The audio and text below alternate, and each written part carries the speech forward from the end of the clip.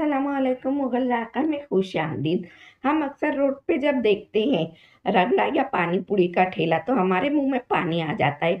एक सिंपल सी रेसिपी है, जो रमज़ान में हम अक्सर हमारे घरों में बनाते हैं। दस्तरखान की जीनत बढ़ जाती है और हमारे मुँह में चटपटा जायका आ जाता है। इसके लिए हमने लिया है सफ़ेद मटर। इसे हमने आठ से सात घंटे के लिए पहले ही भिगो दिया था। ये अच्छी तरह से फूल गई है। अब हम इसमें डालेंगे हाफ़ टी स्पून हल्दी पाउडर, एक टीस्पून नमक नमक आप स्वाद अनुसार लें।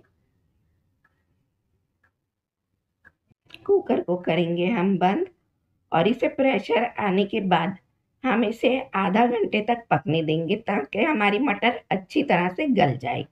हमने एक फ्राई पैन को गर्म पे रख लिया है। अब हम इसमें कुछ मसाले भूनेंगे। चार सूखी लाल मिर्च ली है। इसे हम भूनेंगे ताकि इसका मॉइस्चर भी निकल जाए और इसका कच्चापन भी निकल जाए।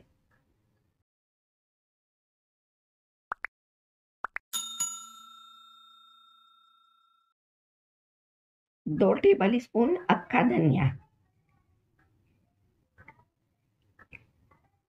अक्खे धनिए को भी हम अच्छी तरह से भूनेंगे। जब तक कि इनसे अच्छी सी खुशबू ना आने लगे और इनका हल्का सा कलर ना चेंज हो जाए। एक टीस्पून ज़ीरा। इन्हें अच्छी तरह से भून लें मसालों को। अगर आप चाहें तो ज़्यादा सा मसाला बना के एक एयर टाइट डब्बे में बंद करके रख लें। आपको रमज़ान में बहुत ही आसानी होगी कि आपका जब मन करे आप इसे बना लें और खा लें। बहुत ही सिंपल सी रेसिपी है और बहुत ही झटपट बन के तैयार हो जाती है। मसाले से बड़ी अच्छी खुशबू आने लगी है।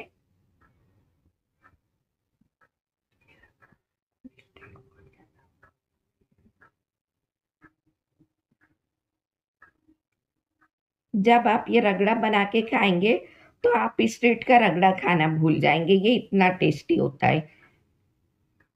चलिए, हमारी मटर अच्छी तरह से गल गई है। देखिए।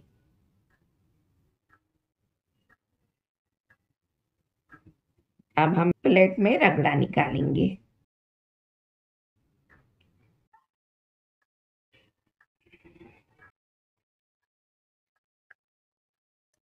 हमने जो मसाले भून के पीसे थे, रगड़े का मसाला, हम इस पर अच्छी तरह से डाल देंगे। आप अपने स्वाद के हिसाब से कम या ज़्यादा डाल सकते हैं। अब हम इसमें डालेंगे हरी चटनी। ये वही हरी चटनी है जो हम अक्सर पकौड़ों वगैरह के साथ खाते हैं। इसके साथ ही हम डालेंगे थोड़ी इमली गुड़ की चटनी।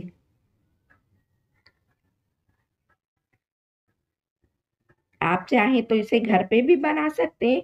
और आप चाहें तो अब तो मार्केट में भी मिलने लगी है इमली गुड़ की चटनी। साथ ही डालेंगे बारीक कटी हुई प्याज।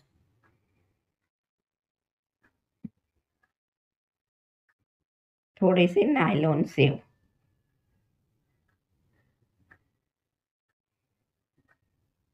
बारीक कटा हरा धनिया पुदीना।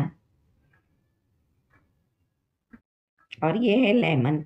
अगर आप ज़्यादा खट्टा खाना पसंद करते हैं तो आप लेमन डाल के खाएँ। अगर आपको नहीं पसंद तो आप ना भी डालें, इसे अच्छी तरह से मिला लें और खाएँ। आपका मज़ेदार, चटखारेदार रगड़ा तैयार है। आपको हमारी रेसिपी कैसी लगी, पसंद आए तो लाइक करें, ज़्यादा से ज़्यादा शेयर करें और सब्सक्राइब करना बिल्कुल ना भूलें। अगली रेसिपी में फिर मिलेंगे, तब तक के लिए अल्लाह हाफिज़।